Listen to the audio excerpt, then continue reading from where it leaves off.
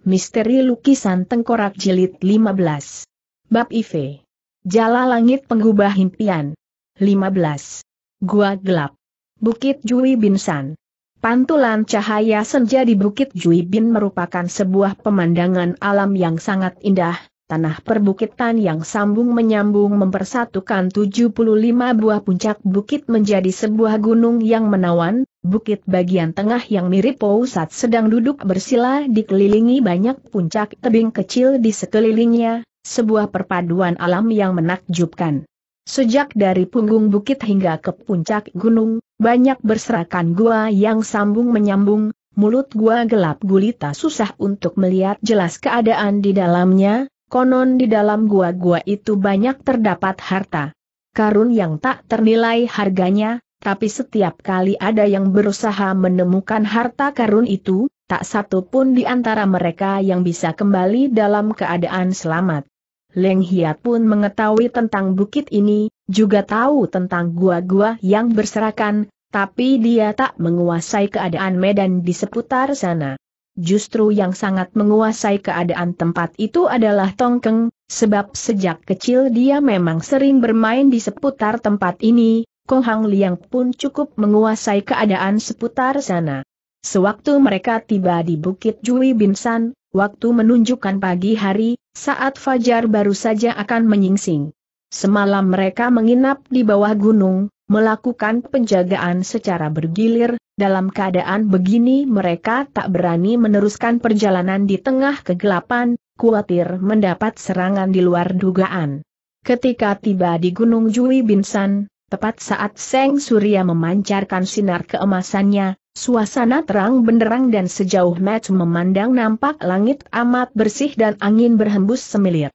Sambil menunjuk ke sebuah celah di antara bukit karang, seru tongkeng tiba-tiba, bila kita melompat turun di antara celah bukit dan berjalan menerobos gua, maka dalam waktu singkat kita akan tiba di kota Tiantin. Sambil berkata ia melompat turun duluan diikuti Leng Hiat di belakangnya, Menyusul kemudian Ting Tong Ih dan Ko Hang Liang berjaga di paling belakang. Gua karang itu sangat sempit dan terjal, suasana di situ gelap gulita hingga susah melihat kelima jari tangan sendiri, Tong Keng di depan dan Ko Hang Liang di belakang segera menyulut obor sebagai penerangan, tapi setiap beberapa langkah mereka harus melompat turun ke bawah sedalam beberapa kaki, permukaan tanah yang berbatu tajam amat sulit diinjak. Lebih kurang setengah jam kemudian, setelah berbelok beberapa tikungan gua, tiba-tiba udara terasa segar sementara lorong pun bertambah lebar. Di dalam gua itu terdapat aneka macam bebatuan berbentuk aneh, ketika tertimpa cahaya segera memantulkan sinar gemerlapan yang sangat indah. Walaupun gua itu semakin melebar namun suasana amat hening, sedemikian sepinya hingga detak jantung setiap orang pun dapat terdengar sangat jelas. Tiba-tiba Tongkeng menengadah ke atas. Semua orang tertegun, mereka tak tahu apa yang hendak dilakukan pemuda itu, ternyata Tongkeng hanya bersin. Suara bersin yang bergaung keras membuat suara itu memantul ke mana-mana, tak tahan Ting Tong Ih berseru sambil tertawa, Coba kau lihat, hampir dari setiap sudut gua terdengar suara pantulan bersinmu. Kembali mereka berempat menelusir jalan berbatu yang amat curam, tiba-tiba Leng Hiat memanggil, Kok Kok Chu. Ada apa tanya Ko Hang Liang? Dapatkah kau menceritakan kembali kisah kejadian yang menimpa perusahaan ekspedisi Sinwi Piao Kiok hingga kehilangan barang kawalannya? Ko Hang Liang menghela napas panjang, sebelum ia sempat menjawab, Ting Tong Ih kembali berseru sambil tertawa, benar, lebih baik kau yang bercerita, ketimbang semua orang harus mendengarkan suara orang bersin. Kong Hang Li yang tertawa getir. Kisah ceritaku mungkin jauh lebih tak sedap didengar ketimbang suara bersinnya, katanya, AAAI, di seputar Ching Tian Xian, perusahaan ekspedisi Sinwi Piao Kiok terhitung punya nama, Sekalipun berlokasi di sebuah kota kecil namun banyak teman persilatan yang memberi muka kepada kami dengan memberi berbagai order pengiriman. Kokok Chu tak perlu rendah hati, tukas Leng Hiat, dulu, sewaktu Koloto Ayah mendirikan perusahaan ekspedisi Sinwi Piao Kiok, Cukat Sian Seng pun pernah berkata kepada Sik Hang Sian, Sik Tai Jin bahwa perusahaan ekspedisi ini mempunyai pamer yang hebat, hubungan antar majikan dengan anak buah lebih akrab dari saudara, bahkan tak pernah mau menerima pengawalan barang yang tak jelas asal-usulnya, bukan saja hasil kerja keras perusahaan sering didermakan kepada fakir miskin, banyak keluarga miskin yang ditampung dalam perusahaan, diberi pendidikan silat dan diajak bekerja dalam pengawalan barang. Setelah berhenti sejenak, kembali lanjutnya, oleh sebab itu Cukat Sian Seng pernah berkata kepada Sik Taijin, dengan cara kerja Sinwi Piao Kio yang bersih dan mengutamakan norma hidup, asal bisa bertahan 2-30 tahun, maka keberhasilannya pasti akan luar biasa. Ketika Sik Taijin masih memangku jabatan, beliau memang sangat memperhatikan perusahaan kami, segera Kohang Liang menyambung, Waktu itu tak pernah ada peristiwa apa pun yang menimpa perusahaan kami. Si Hang Xian, Si Taijin akhirnya tewas dicelakai kaum durjana dan pembesar laknat, sambung Leng Hiat dengan nada sedih, bukan hanya dirinya yang terbunuh, nyaris seluruh anggota keluarganya musnah dibantai, padahal berulang kali Cukat Sian Seng telah memperingatkan agar untuk sementara waktu mengungsi lebih dulu daripada dicelakai orang jahat, Ketika akhirnya dalam perjalanan menuju kota Sichiu, Si Taijin dihadang orang jahat di tengah jalan dan mati terbunuh. Bicara sampai di sini nadanya menjadi sumbang karena dipengaruh emosi dan amarah. Kong Hang Liang menghela napas panjang. Si Taijin adalah seorang pembesar yang bersih, adil dan suka menegakkan kebenaran, sayang dia mati dibunuh pejabat laknat, Konon orang yang membunuh Siktai Jin adalah jago lihai yang berasal dari Istana Cukat, apa betul?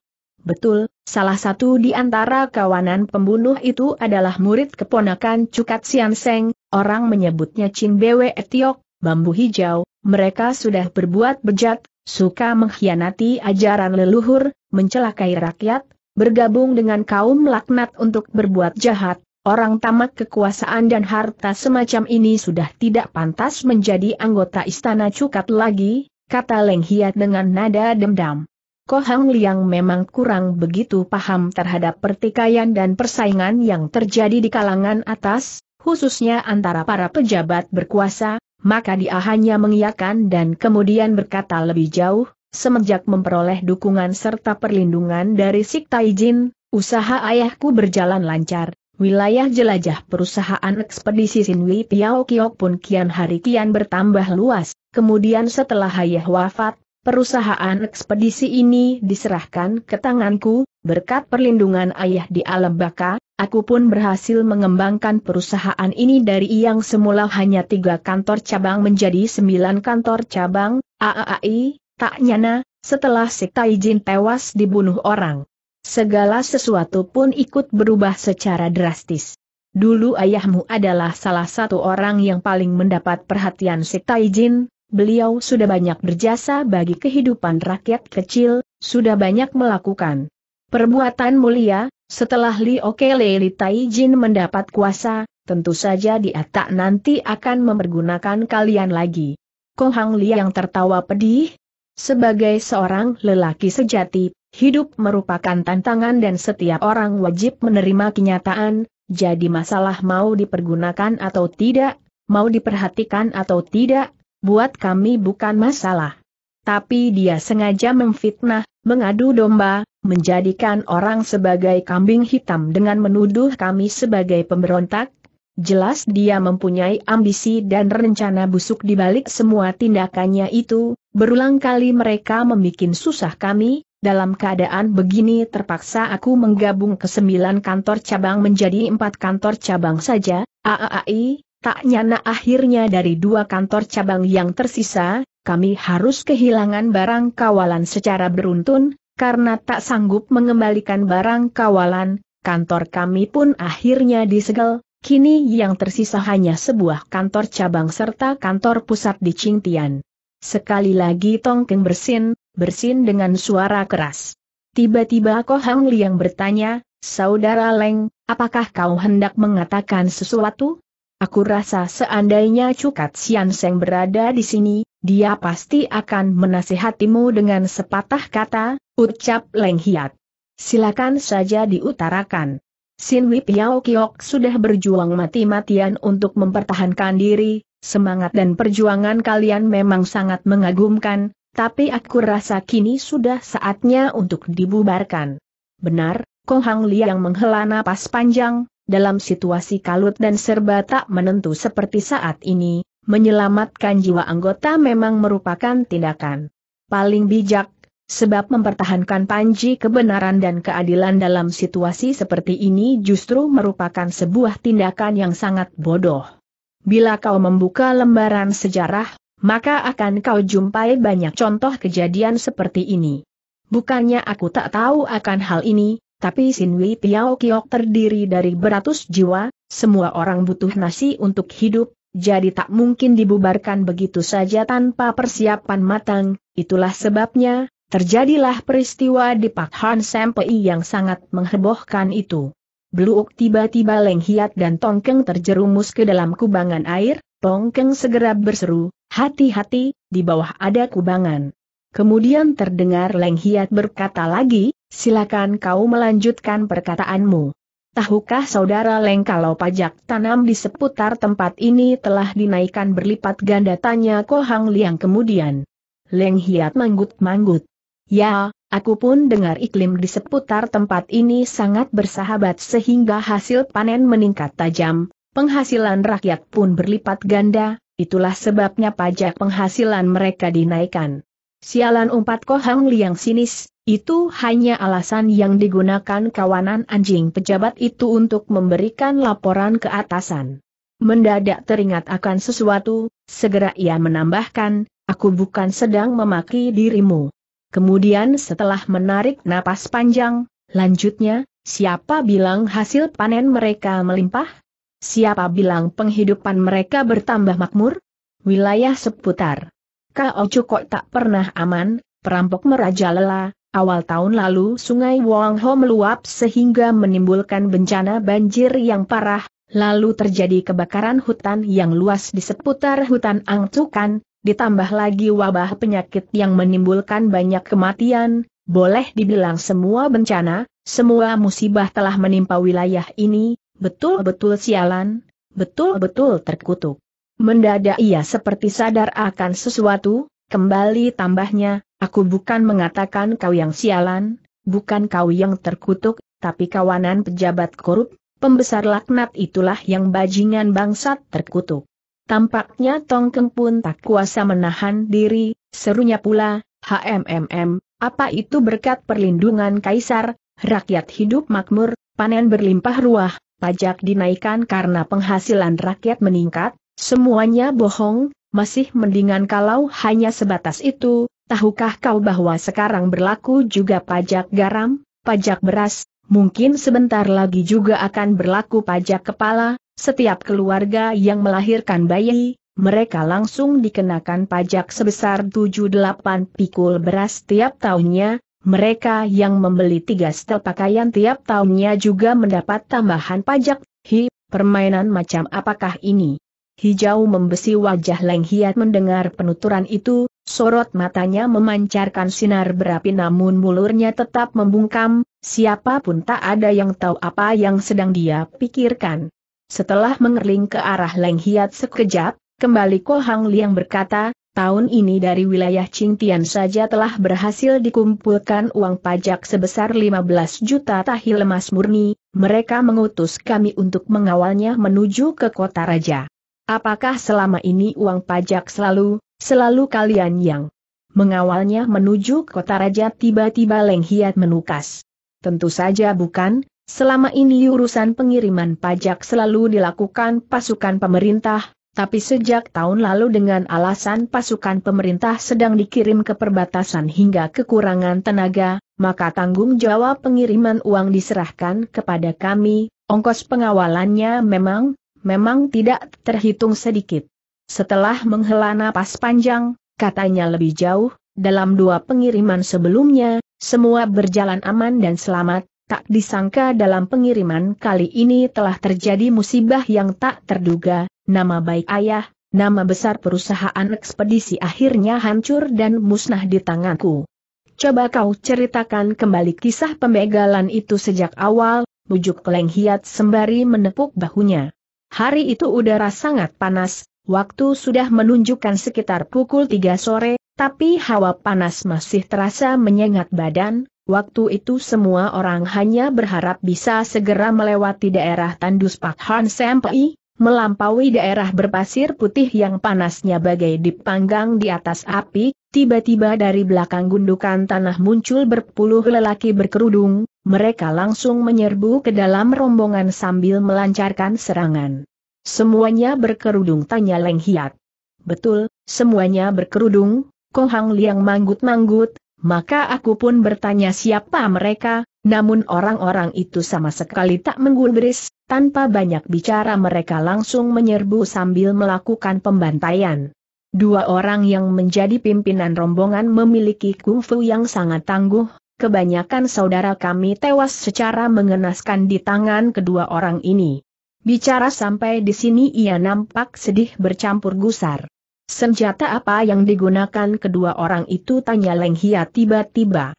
Kong Hang Liang berpikir sejenak kemudian sahutnya, kedua orang itu bertangan kosong, begitu menyerbu ke dalam rombongan kami, mereka segera merampas senjata. Senjata apa pun yang berhasil dirampas segera akan menjadi senjata andalannya, kelihatannya mereka berdua sengaja merahasiakan aliran silat serta identitas yang sebenarnya, tiga kali aku bertarung melawan salah seorang di antara mereka, tapi aku segera sadar bahwa kepandaian silatku masih bukan tandingannya, jangankan melakukan perlawanan, mengenali asal-usul jurus serangannya pun tak mampu, kalau diingat kembali sungguh memalukan. Pihak lawan kalau memang sengaja hendak merahasiakan identitasnya, tak aneh jika sulit bagimu untuk mengenalinya, ucap Leng Hiat, tapi kalau dilihat bahwa tanpa menggunakan ilmu silat andalannya pun orang itu mampu bertarung di atas angin melawan Kokcu, dapat disimpulkan bahwa ilmu silatnya memang sangat tangguh. Lantas bagaimana dengan yang seorang lagi? Kepandaian silat yang dimiliki orang ini jauh lebih hebat lagi, kata Ko Hang Liang dengan nada ngeri bercampur seram, di tengah berlangsungnya pertempuran, dia kelihatan melambung dan menukik berulang kali, bukan saja dengan tangan kosong berhasil merampas senjata anak buahku, bahkan beberapa orang piausu tergeletak bersimbah darah, setiap kali selesai membunuh korbannya, dia selalu membesut hidungnya satu kali, sepak terjangnya betul-betul menakutkan. Orang itu bukan manusia, tapi setan, setan pembunuh berhati kejam selatongkeng dengan penuh emosi. Leng Hiat menghela napas panjang, ujarnya, berada dalam keadaan seperti ini, tidak seharusnya kalian mengorbankan diri, sepantasnya kalian melarikan diri untuk menyelamatkan jiwa. Kohang Liang ikut menghela napas panjang. Yang lebih aneh lagi, katanya, selain kedua orang itu, kawanan begal lainnya memiliki kungfu yang tak seberapa hebat, sekalipun dia berhasil membunuh dua tiga puluh orang anak buah kami, Sebaliknya kami pun berhasil menjagal dua puluhan anak buahnya, kemudian datang lagi sekawanan manusia berkerudung, melihat situasi semakin gawat aku pun memutuskan untuk menarik diri dari arena pertarungan, sambil melepaskan tanda rahasia, kami berusaha menerjang keluar kepungan. Ehm, dalam keadaan seperti itu, memang mustahil bagi kalian untuk melindungi uang pajak itu, Leng Hiat manggut-manggut.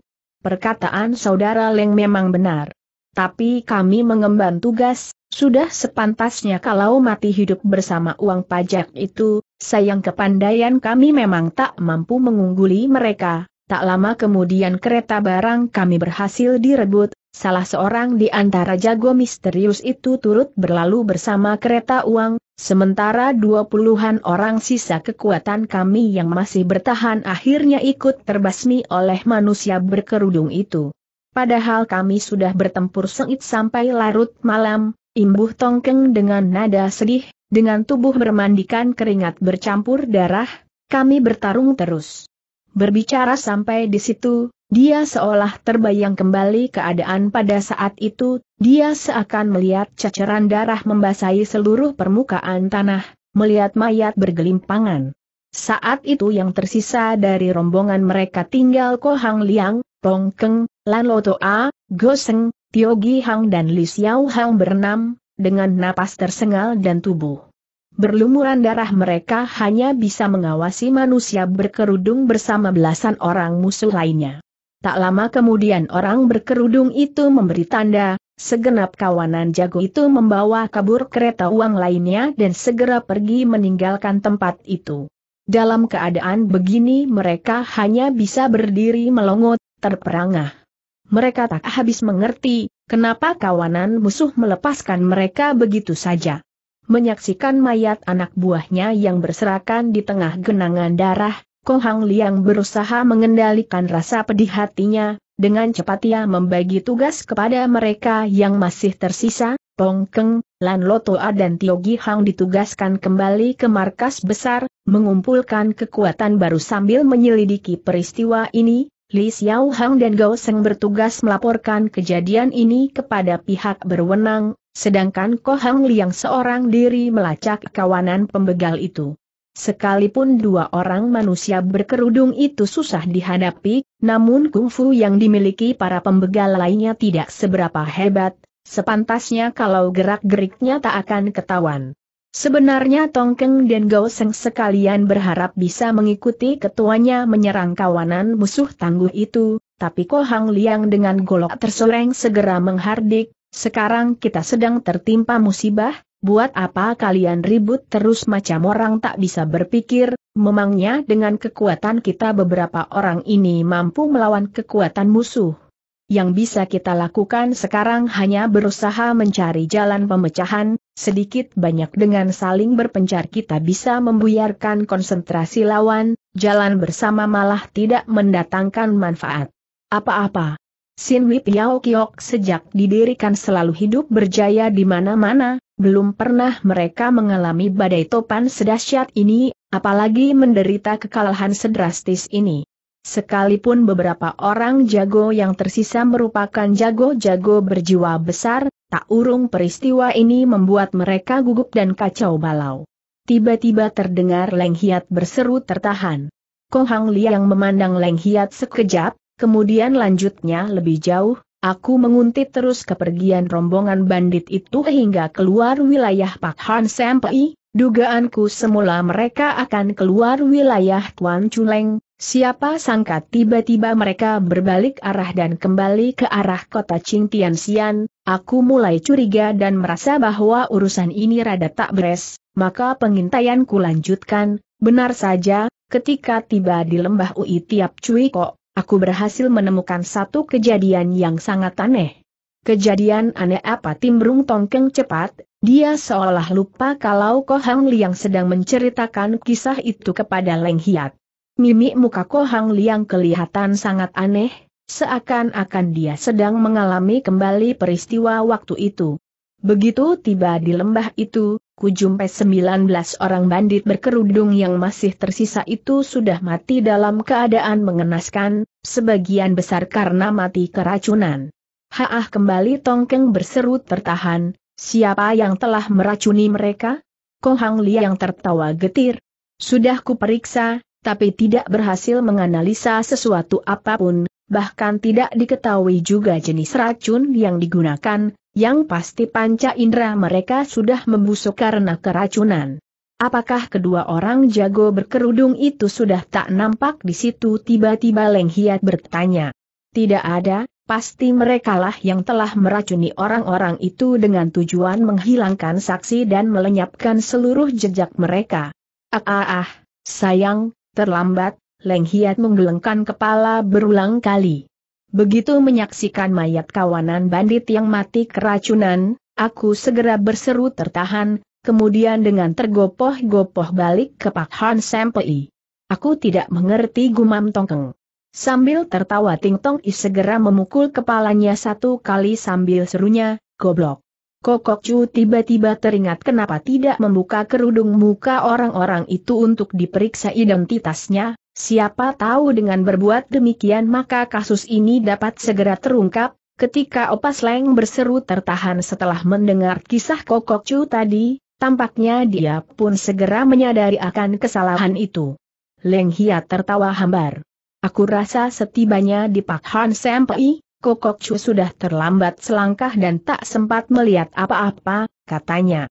Benar, aku memang datang terlambat kata Ko Hang Liang sambil mendepahkan kakinya berulang kali, di dataran berpasir Pak Han sampai hanya tersisa mayat anggota Sin Wei Piao Kiok, sementara tubuh musuh sudah tak nampak lagi, bahkan sebuah senjata pun tidak ketinggalan. Lalu apa maksud mereka berbuat begitu, gumam Tongkeng lagi dengan termangu. Pembunuh memiliki kekuatan yang luar biasa, ucap Leng Hiat, andai kata mereka ingin membunuh kalian, semestinya hal ini bisa dilakukan segampang membalikan tangan, buat apa mereka malah melakukan pembantaian terhadap anak. Buah sendiri? Jelas perbuatan mereka mempunyai tujuan tertentu.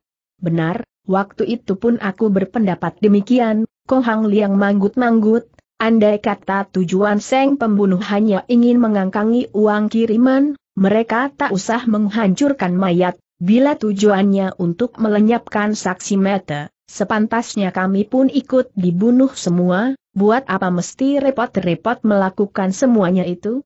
Jangan-jangan bisik Leng Hiat setelah termenung sejenak, tiba-tiba ia menutup mulut dan tidak bicara lagi. Kohang Liang menanti beberapa saat, Ketika tidak melihat Leng Hiat melanjutkan perkataannya, dia pun berkata lagi, tindakan Seng pembunuh yang melakukan semua itu sempat membuat pikiranku menduga-duga, kemudian lantaran khawatir terjadi sesuatu di kantor pusat, maka malam itu juga aku balik ke kota Qing Tiantin, tapi aku harus berjalan sangat hati-hati karena khawatir banyak jebakan di sepanjang jalan, Ketika mendekati Fajar aku baru tiba di sekitar markas, hatiku baru lega ketika melihat keadaan di situ amat tenang. Siapa tahu aku lihat kantor pusat sudah disegel pemerintah, malah ku saksikan juga anak buahku diseret ke dalam penjara meski sudah berteriak tidak bersalah, sebetulnya aku ingin maju menolong, tapi ketika itu ku dengar ada seorang petugas keamanan sedang memaki, katanya, Bila kami gagal menangkap kocu kalian pun bakal tertimpa sial, mana mungkin kalian dibebaskan? Saat itulah aku baru tahu kalau akulah yang menjadi target mereka. Berada dalam keadaan seperti ini, bila kau menampilkan diri, sama artinya menjadi burung dalam sangkar, sama sekali tak akan bermanfaat apa-apa. Aku pun berpendapat demikian, ujar Kohang Liang sedih, menang kalah bukan masalah, yang penting justru kebersihan nama, bila sekali mendapat nama jelek maka selama ribuan tahun hanya akan dicemooh orang, ambruknya. Perusahaan Piao Kiok bukan masalah serius, tapi uang sebesar belasan juta tahil emas bukan jumlah yang kecil, bila pihak pemerintah memeras rakyat kecil lagi, bagaimana mungkin rakyat bisa hidup tentram? Ketika uang pajak hilang dirampok orang, Seharusnya pasukan pemerintah pergi mengejar kaum begal, kenapa malah menangkap orang-orang perusahaan ekspedisi kata Leng Hiat dengan wajah serius. Ko Hang Liang segera berpaling ke arah Tongkeng, waktu itu dia sedang melacak jejak musuh hingga urusan yang terjadi dalam kantor perusahaan tidak sejelas Tongkeng. Tongkeng segera menjawab, aku sendiri pun kurang jelas, Ketika aku bersama Lan Lotoa dan saudara Tio balik ke kantor pusat dan memberitahukan kejadian ini kepada Enso, Paman Yong serta si ketapel cilik seketika mengirim orang untuk menyusul Kokcu, tak disangka saat itulah Li Xiao Hang dengan membawa sepasukan prajurit telah menyerbu tiba, sambil menuding ke arah kami bertiga Li Xiao Hang segera berseru, mereka itulah orangnya. Maka prajurit pun tanpa banyak bicara segera memborgol kami bertiga dan menggelandang pergi. Apa maksud Li Xiao Hang berbuat begitu seru Ko Hang Liang dengan kening berkerut. Siapa sih Li Xiao Hang itu tanya Leng Hiat pula. Dia adalah seorang anak muda, dulunya hanya kulit kasar, empat tahun lalu baru diangkat menjadi wakil Piausu. Bocah ini cerdas dan rajin, semestinya masih bisa naik pangkat lagi. Aku rasa bocah itu rada aneh, kata Tongkeng sambil garuk-garuk kepala, kemudian lagi-lagi dia bersin, tampaknya menderita demam. Waktu itu yang Cite ada di situ, kata Ko Hang Liang, seharusnya dia yang tampil bicara.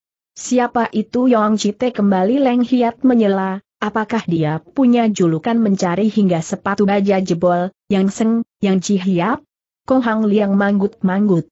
Benar, yang Cite sudah banyak membuat jasa besar bagi perusahaan Sinwi Piao Kiok, kini dia menduduki jabatan sebagai wakil Chong Piao Tao. Leng Hiat bungkam.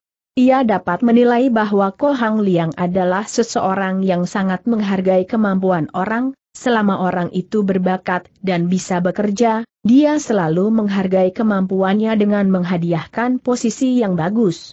Sementara itu Tongkeng telah menjawab, gara-gara yang Cishok tampil ke depan melarang kawanan prajurit itu menggelandang kami, akhirnya dia dihajar dua bersaudara yang hingga terluka parah dan roboh ke tanah, Saudara lainnya yang berada di kantor serentak bersiap melancarkan serangan, tapi Lu Buncang segera berseru, kami mendapat perintah dari Li Taijin untuk menangkap tersangka perampokan, barang siapa berani menghalangi, kami akan menganggapnya ikut berkomplot dan bunuh tanpa ampun, dalam keadaan begini Paman Yong dengan napas tersengal segera memerintahkan semua orang agar mengurungkan niat bertempur, dia khawatir tindakan itu justru akan merusak reputasi perusahaan ekspedisi.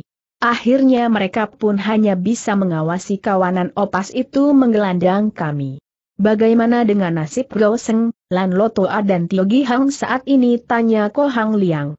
Lan Lotoa dan Tio Hang secara beruntun mati tragis dalam penjara karena dikuliti hidup-hidup, sementara Go Seng dijebloskan dalam penjara bawah tanah, kondisinya pun tidak lebih bagus, hanya yang memuakan adalah Li Xiao Hang itu, setelah kejadian konon dia pernah muncul satu kali di kantor perusahaan, gayanya angkuh dan jumawa, setelah itu aku tak tahu bagaimana nasibnya.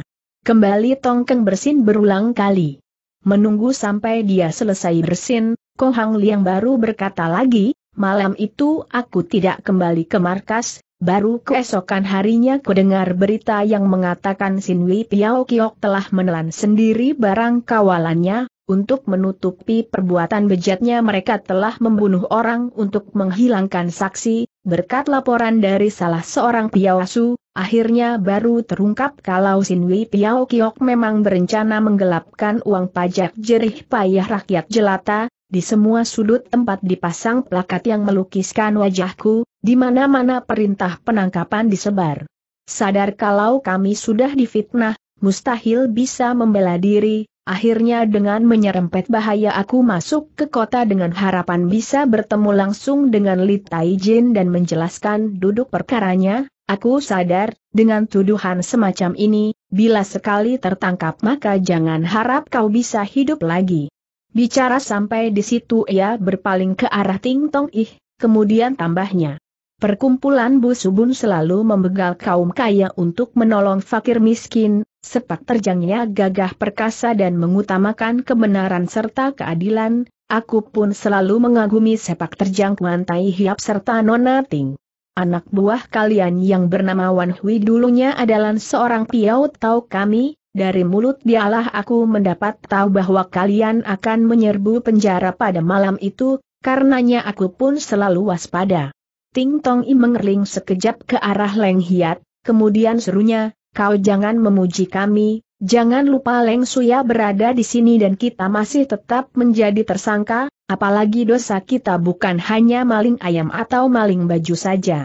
Ucapan Nona Ting kelewat serius, kata Leng Hiat Hambar, perkumpulan Bu Subun memang memiliki reputasi yang mengagumkan dalam dunia persilatan, bila kami empat bersaudara diharuskan memerangi maling budiman macam kalian, sudah sepantasnya bila kami berganti julukan, bukan empat opas tapi empat gembong iblis. Nama besar dan reputasi empat opas bisa tersohor di kolong langit bukan lantaran Leng Hiat, Tui Beng, Tiat Iu dan Bucing berhasil memecahkan banyak kasus berat, yang lebih penting lagi adalah semua senak terjang dan perbuatan mereka tidak melanggar Hang dan Ci itulah sebabnya mereka sangat dihormati kalangan putih dan disegani kalangan hitam.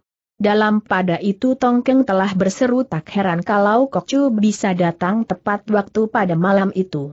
Mendadak Leng Hiat bertanfa, tadi kau bercerita tentang kematian tragis Lan Lotoa dan Tiogi Hang lantaran dikuliti hidup-hidup, sebenarnya bagaimana ceritanya? Secara ringkas Tong Keng pun bercerita bagaimana Liwan Tiong dengan dukungan dua bersaudara Yan dan Giengsi menguliti para narapidana dengan tujuan membuat sulaman dari kulit manusia, selain itu diceritakan pula bagaimana perjuangan Kuan Huitok membela kaum tertindas hingga akhirnya mati mengenaskan. Selesai mendengar penuturan itu, dengan wajah serius Leng Hiat berpikir sejenak, kemudian baru ujarnya, membunuh putra Li Taijin jelas merupakan sebuah kasus pembunuhan besar. Li Taijin merupakan salah satu di antara lima orang didikan Perdana Menteri Hu, dan lagi Li Wan Tiong pun tewas gara-gara sedang mempersiapkan hadiah ulang tahun Seng Perdana Menteri, jelas masalahnya menjadi bertambah serius, mengenai Kuan Hui Tok, dengan kepandaian silat yang dimiliki, semestinya sulit orang lain membekuknya, tapi demi membela rakyat kecil yang tertindas dalam penjara, ia rela dijebloskan ke dalam neraka, pengorbanannya patut dikagumi. Kedatanganku kali ini sebenarnya juga sedang mengemban tugas membebaskan dia. Dari semua dosa, tak nyana jiwanya telanjur dicelakai oleh kaum durjana, aaai, sungguh. Mendadak obor yang berada di tangan Tongkeng maupun Kohang Li yang padam. Seketika itu juga seluruh gua berubah menjadi gelap gulita.